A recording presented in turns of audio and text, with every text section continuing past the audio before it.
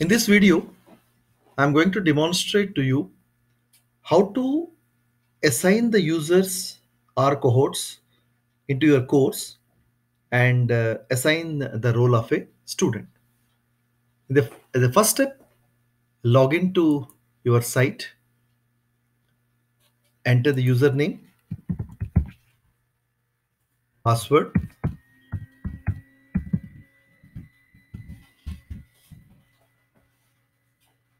and login.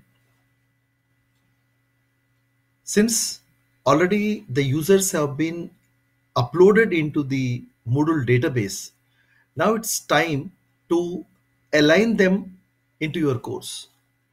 To align the users into your course, the first step is go to the site home, which is available on your left hand side on the screen. Then and select your appropriate course. In this case, it is an intellectual property rights course. Click on the course.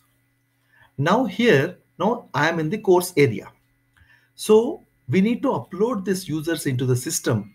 So what you need to do is, and uh, you need to select uh, uh, the, the icon which is next to the actions menu if you click this small button, which is next to the actions menu, you can get a pop-up.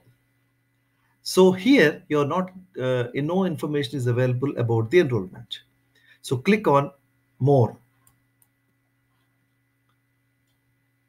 And here you can see the uh, course administration area. In this course administration area, you find an option called users. Since we are manually enrolling the users, providing the username and password and putting them into the cohort, so by default, this option is enabled. So you need to click on the enrolled user option under available under the users menu. And uh, since again, you need to press on the enrolled users. Now you can uh, able to see an enrollment options pop up, which has got three options. Number one, you can select the users one by one. You can select the cohorts and you can assign the role.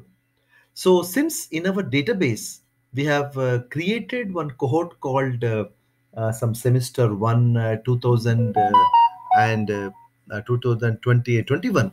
So you need to search the cohort here. Because your class strength is more than 180 it is not feasible to uh, select uh, one person at a time.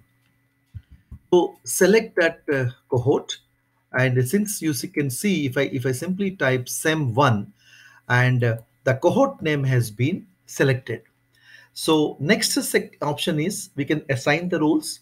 There are several options and roles are available manager teacher non-editing teacher and student since we want uh, these users to be assigned the student role, select the student role and ensure that cohort, uh, the, the appropriate cohort has been selected.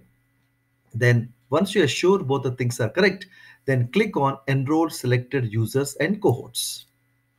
So what happens here, and you can see these are the two users have been uh, added into your course as students.